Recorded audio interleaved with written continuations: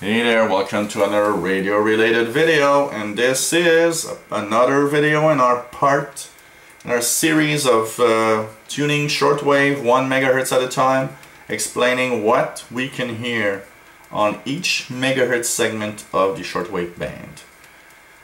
This is the video for 24 megahertz. So what can we hear at 24 megahertz? What types of signals could be there? Uh, 24 megahertz being once again mostly a daytime band uh, sunrise to sunset but don't you know count that as being an absolute fact. You probably can listen to some signals even at the evening or night time if conditions are right sometimes sporadic e-skip for example can give conditions that are interesting uh, anytime. So uh, even if it's not daytime local, uh, tune around and take a listen to what type of signals. And uh, hey, report it here in the, in the comment sections and uh, tell us what you hear in your part of the world. So 24 megahertz is uh, most part of 24 megahertz is pretty much utility type signals. There's not an official, well, probably there's an official band segment here somewhere but I would say that basically 24 megahertz is mostly in the utility type signals but there's a little amateur radio band called the 12 meter band just at the top of this uh, 24 megahertz segment. So let's tune around and see if we hear any signals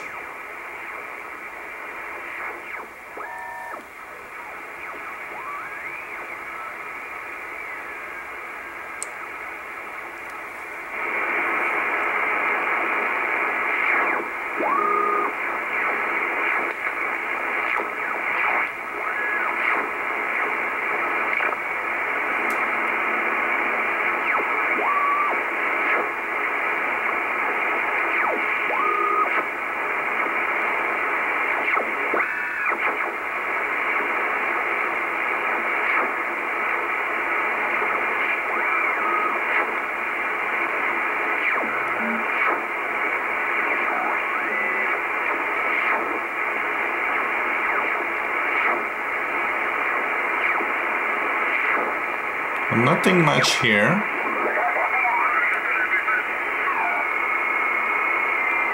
There's a signal here.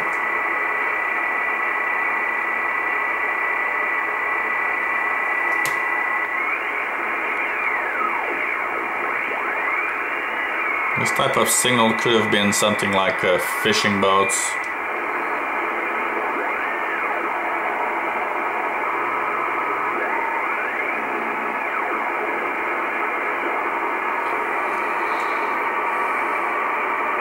this is what I mean when I say that, you know, tune around the bands because you never know where you can hear signals and hear something. And that was an example, there was something here.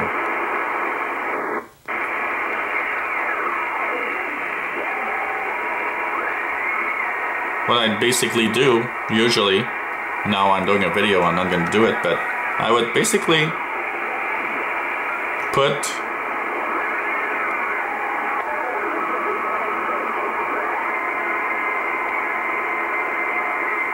put my radio there and try to take a listen and try to ID any signals.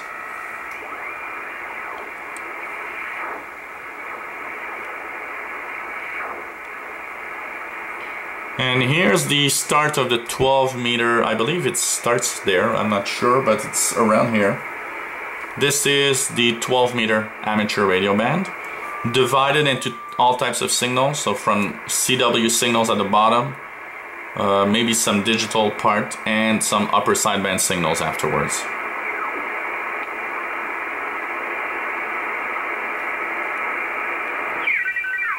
And here we hear lots of CW signals.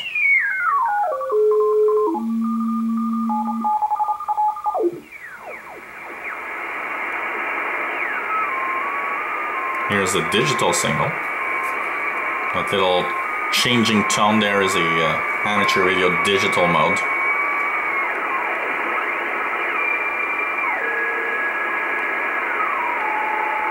This is BPSK31, it's another digital mode.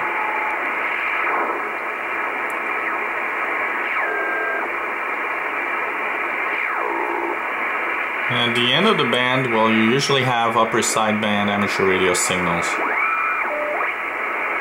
But don't seem to have many amateur radios at this time.